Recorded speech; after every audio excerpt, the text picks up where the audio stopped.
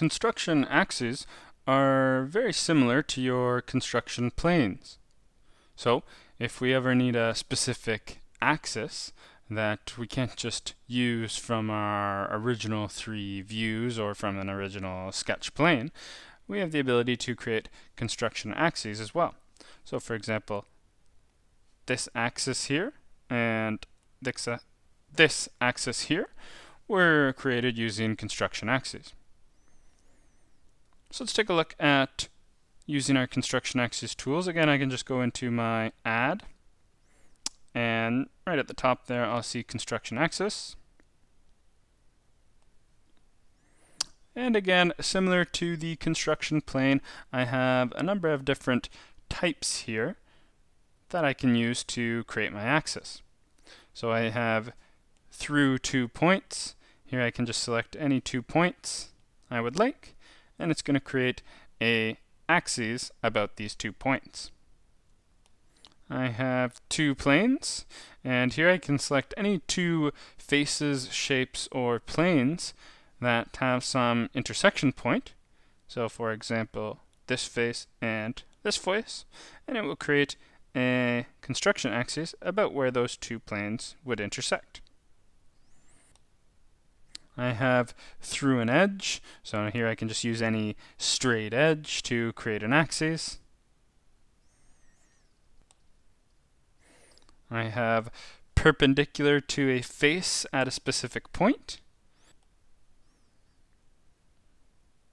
So first I can select any face and tap next and then select any point and notice it will create an axis at any point perpendicular to that face. Finally, I have through a cylinder or a cone. And this can be used to create an axis through any cylindrical face or a cone. So for example, here, here, here. And notice it creates a axis through that face or a cone. And if I'm happy with any of these, of course, just tap the Done check. Now I have a number of axes that I've created that I can use as construction geometry.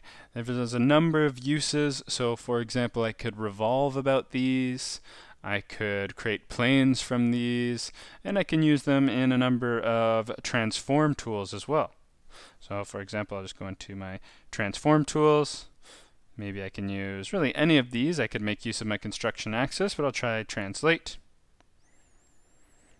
And I'm going to first select what I'd like to translate. Again, maybe this rod, and I'm going to move the axes with it as well. And then tap next. And now I can use any point on any of my bodies, or any point on any of these construction axes I've just created. So from here to here, maybe. Okay, and notice they'll jump to any point in my solid, but it'll also jump to my construction axis. So now you can see I'm aligning my cylindrical hole with whichever one of these construction axes I'd like. And if I'm happy with them, I can hit the done check.